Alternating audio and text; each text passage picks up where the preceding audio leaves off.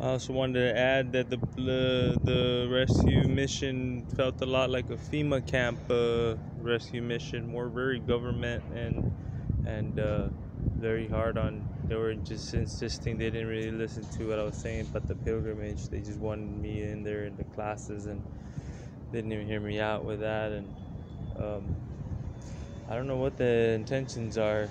It's kind of hard when you represent the this. Christianity stuff. It's you can't tell. It's mixed with government. It's it gets kind of FEMA-ish. It kind of feels like they just used it as a forefront. It's kind of interesting. Just wanted to add. Hallelujah.